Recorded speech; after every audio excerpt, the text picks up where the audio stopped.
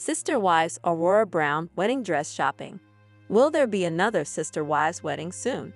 Some fans think Aurora Brown is going to be the next child to tie the knot. Many fans are concerned about the TLC star, especially considering her age and background. While she is young and in her early 20s, her stepsister Gwendolyn Brown is the same age and also married. However, many Sister Wives fans think these rumors are unsubstantiated. Since Robyn and her kids keep such a low profile on social media, it's hard to tell exactly what's going on. Keep reading to get the scoop. Some Sister Wives viewers think Aurora Brown will marry soon. As the Brown children grow up, many have serious partners and some even married. Logan, Aspen, Leon, Maddie, Mykelti, and Gwen are all married. Is Aurora next? Since Aurora is rumored to be shopping for a wedding dress in Vegas, some, including myself, think a wedding is coming. One Redditor shared on the platform recently. Now I hope fans don't rip this poor girl to shreds, and here is why. I believe Aurora is a victim of her environment, and if she can get married and get LUTs of the Brown Asylum, that in itself would be a miracle.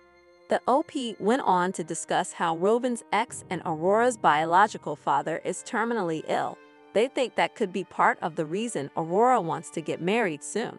While sister wives weddings are always an exciting event, not every Reddit user thought there was much merit to the OP's claims. If the wedding is happening, Redditors aren't excited. It's not at all uncommon for people in the ILBB to marry at such a young age. However, other Reddit users question the OP's narrative. Very few people have heard rumors about Aurora's wedding, and if she is marrying soon, other Redditors strongly believed she would stay in the AUB.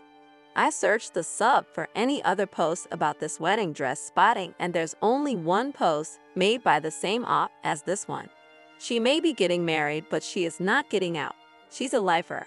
And no thank you, I will not cheer or be excited.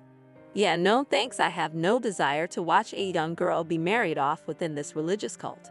That poor girl has absolutely been abusively manipulated from the get-go by her mother. I do hope she gets out and gets therapy to undo some of it.